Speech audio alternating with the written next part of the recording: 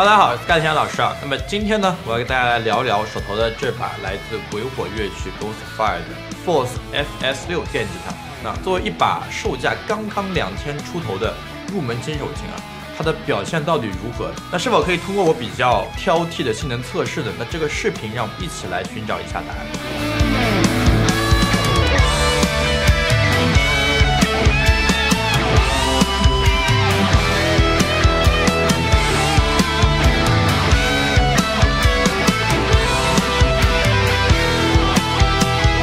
那么 Force 呢是 Ghostfire 旗下的电吉他品牌。那 Ghostfire 国内的玩吉他的朋友一定非常的熟悉的，它是一个非常棒的国产的吉他配件厂商。我自己刚开始玩单块的时候，我就买了不少他们家的这个效果器板和单块的连接线。他们家还做像琴包呀、琴架呀、单块电源等等，基本上你能想到的跟电吉他相关的配件，他们家都有在做。那现在呢，他们终于下场开始自己做吉他了，也就有了这个 Force 的品牌。那 Force 这个词呢，在英语里边其实有这个马驹的意思啊，我不知道它是不是在致敬黄家驹啊，但是 anyway 它叫这个名字。那我手里的这款 FS 六和另外一款 FT 六，S 代表这个 ST Strat 类型的吉他，T 代表 Teddy 类型的吉他呢，是他们家的主推的两千价位的标准入门款电吉他。实话实说，我已经挺长时间没有接触过这种正儿八经的入门级电吉他了。所以，因为大家测评过的类似价位的吉他呢，比如说像唐龙或者恩雅，还是属于那种比较新奇的、比较独立设计的吉他。其实我相信大部分消费者还是会去考虑这种相对来讲比较传统的设计的吉他。可能这类吉他的测评呢，也会帮助到更多的初学者。所以，在我使用一段时间之后啊，今天的这个视频里边，我想大家来分享一下我的一些使用感受。客观上来讲，它有什么优点，有什么缺点，以及它是否是一款合格的入门吉他。那也希望这个视频呢，可以给大家一些选购上的建议和参考。首先呢，在我们听试听之前，我们先来简单的说一下这是把什么吉他。其实它的外观已经基本上说明了它是一个什么类型的吉他啊。那基本上就是一个非常标准的 SSH 单单双配置的现代 ST 类型的吉他。所有的配置都是近年来市面上最流行的、最常见的，也是那种我一般会推荐给电吉他新手去选择吉他类型的。它是 ST 型的拼接琴体，就是它的这个琴体和琴身是用螺丝铆在一起的。那琴体呢，选择的是这个北美进口的 Alder，然后烤枫木的琴颈，指板呢是印度进口的玫瑰木指板，它的指板弧度呢十四英寸，非常的现代，非常平。同时它还有一些在这个价位基价上不太常见的配置，比如说自锁卷钳器，它的这个琴桥呢有不锈钢的琴码和黄铜的底座，两点式的这种小双摇的琴桥，SSH 单单双拾音器可切单。一个音量，两个音色旋钮，五档的这个拾音器切换，配置上可以说该有的都有了。说实话，它的主要卖点也就是这个在两千的这个价位啊，它的用料和曲面的配置看上去是非常厉害的。那说到这里，大家肯定会跟我一样关心两个问题啊，就是哦，OK，它说起来很厉害，对吧？那它的手感、音色到底如何呢？老规矩，接下来让我们一起来听一下它的试听。听完试听以后呢，我会聊一聊我的一些使用感受。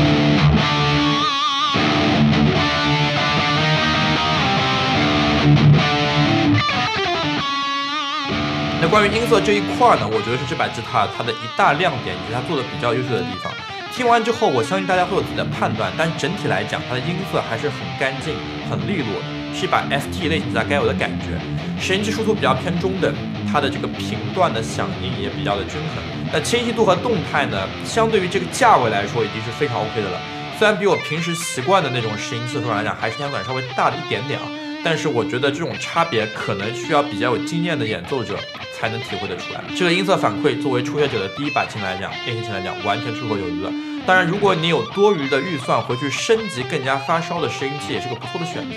那作为一把两千价位的吉他，它的整体电路里面都是有屏蔽的，拾音器的底噪非常的小，同时呢，它的整体的这个电路啊，它的拨档啊、旋钮的手感啊都是非常 OK 的。所以整体的电路和音色方面，我个人觉得非常到位的。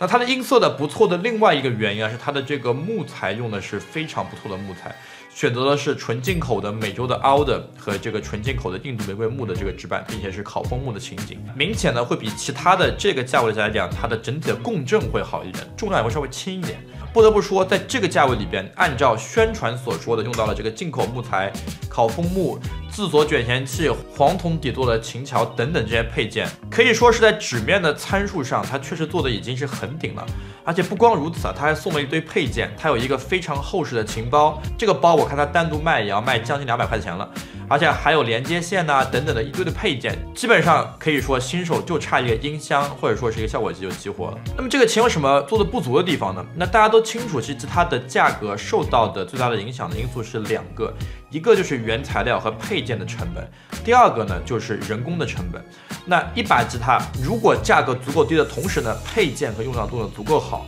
那它的制作成本上一定会相对来讲缩水一些，我觉得这个现象在这把琴上体现的还是比较明显的。所以我对这把琴的一些不满主要集中在这个手感上。首先是关于这个品丝的打磨的问题啊，所以我想借这个机会稍微吐槽一下。那以下这一段我并不针对这把 FS 六，而是针对整个国产吉他行业。我其实有一点不是很理解，就是为什么所有的我谈过的国产的中低价位吉他，它都有一个相同的问题。或者说不能说问题吧，相同的特点就是出厂的时候品丝非常非常粗糙，非常非常涩。相对于我这种演奏的时候，我有大量的这种推弦揉弦习惯的人来讲，刚拿到手去演奏的头几天真的非常难受，就像那种当你做推弦揉弦的时候，就感觉像那个指甲在刮黑板的感觉。基本上我测评的所有的国产吉他品牌，无一例外都有这个情况。那当然也包括这把 FS 六。那这个品丝呢，其实你弹几天之后，琴弦对品丝有了这个摩擦之后，它慢慢的变得顺滑了。所以品丝本身是没有问题的。那问题来了，做琴的时候为什么出厂前不加一个打磨品丝的这个工序呢？对于我来讲，这个细节很多时候是判断吉他价位和品质的一个非常直观的参考。其实，在我看来，打磨品丝这个工序其实是很重要的，也对演奏者对于这把琴的第一印象起到了一个非常至关重要的作用。我自己很多时候觉得一把琴手感非常好，其实就是从这个品丝的材质、大小、手感符合我的喜好开始的。然后再是去考虑它的共振、它整体音色的反馈、拾音器的响应等等。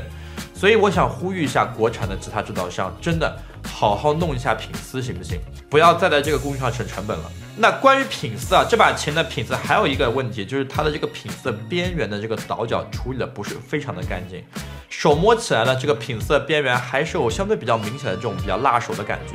而且有几处品丝甚至出现了这个边缘突出的情况，可以在琴颈的边缘摸到这个品丝的这个突出的部分。虽然不是很严重，也不影响你实际的使用，但是说实话，还是对演奏手感有一定的干扰。我并不知道这是我中奖了，还是说是这是一个比较常见的情况。总之，大家在选购的时候呢，可以适当的注意一下这个问题。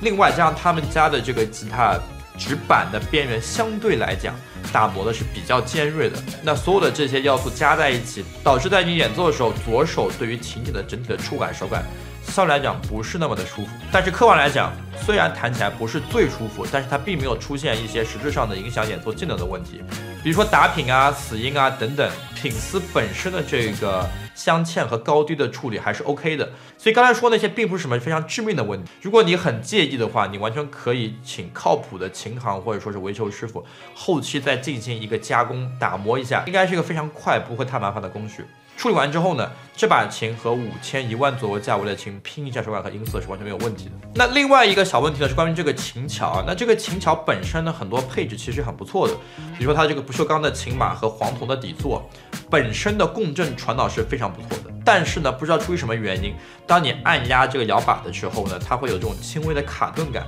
这种情况，说实话，在两点式琴桥上并不多见。我猜测是琴桥底板这两个缺口和这两个柱子的这个接触的位置咬合并不是非常的紧密导致的。虽然并不影响演奏，也并不存在跑音的问题，但是比起比较正常的这种分的两点式的琴桥，或者说常见这种勾头类型的琴桥的话，